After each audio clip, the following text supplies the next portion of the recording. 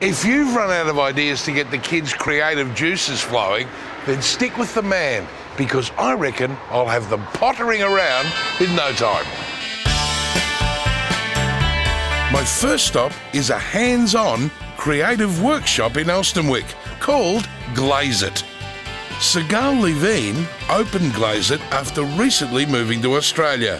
America, you see those kind of studios all over. And I used to go with my daughter. So when we came to Australia, I thought that's something I can do. If I was going to start, what would what would I do?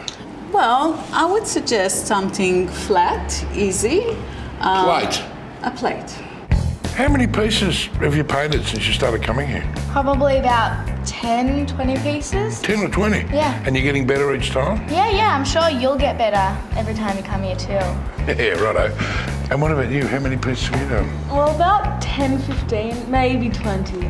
Well, I've got the same colour on my brush. Would you like me to... Oh, no, I'm okay, Coxy. Yeah? Just do yours. Work it's on really good, it's really good. Thanks for that. All the paint and brushes are supplied, and in just one week, your glazed piece of artwork will be ready for the shelf.